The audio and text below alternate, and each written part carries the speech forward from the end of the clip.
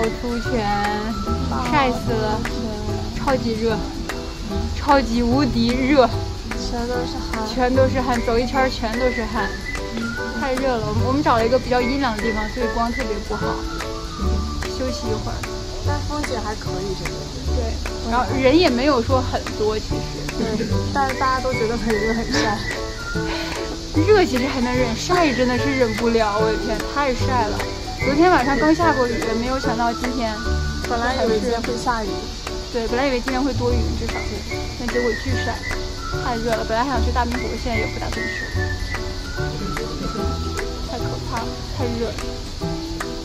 有些人会不会就就就觉得我们今天这个很奇怪？没有啊，没有没有人在看我们，没有人理我们，大家都已经热晕了，谁也不管谁。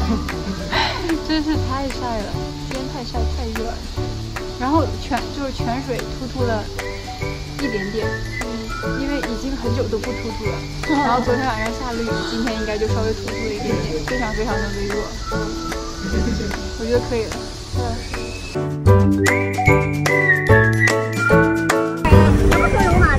嗯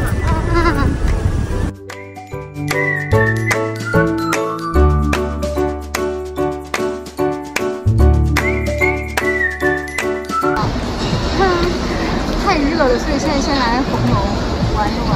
嗯，就来避避暑。嗯，芙蓉街也不去了，就是完全太热了，太热了，今天太热太晒了。对现在就来红楼这边避避暑，喝喝奶茶，然后等一下我们在这家店叫做及时行乐，然后等一下就吃个饭。嗯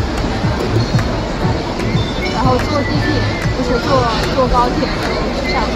我们排队了，排了一个叫那个济南菜《城南往事》，城南往事啊，叫《城南往事》，还有一个南京大排档，人都很多。今天红楼人也挺多的，大家都来吃饭。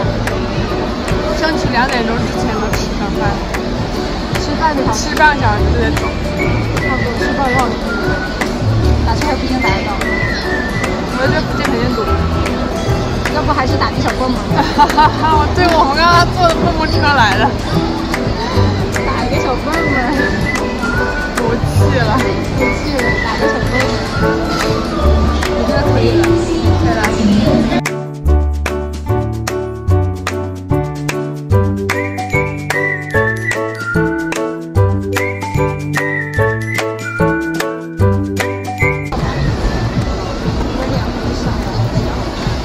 往前点，好好好。